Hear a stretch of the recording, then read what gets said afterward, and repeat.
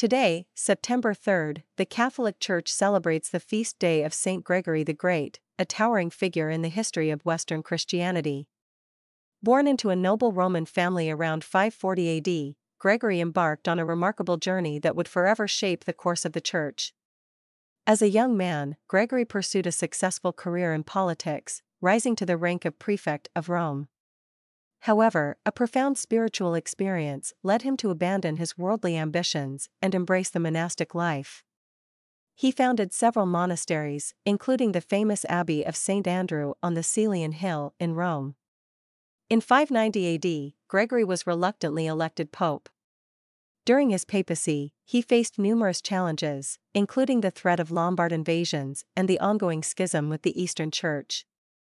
Through his wise leadership and unwavering faith, Gregory guided the church through these turbulent times.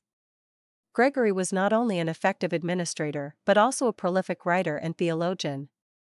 His magnum opus, the Moralia in Job, is a profound commentary on the book of Job that explores the nature of suffering, the mercy of God, and the importance of perseverance. He also reformed the liturgy, introduced Gregorian chant, and established the Gregorian calendar, which is still used today. Saint Gregory the Great is rightly known as a doctor of the Church for his exceptional contributions to theology. He emphasized the importance of both faith and reason, arguing that they are not contradictory but complementary paths to understanding God. His writings on the sacraments, the Trinity, and the nature of the human soul have had a lasting impact on Christian thought. Beyond his theological insights, Gregory was a compassionate pastor who cared deeply for the poor and the marginalized. He established hospitals, orphanages, and other charitable institutions to alleviate suffering and promote human dignity.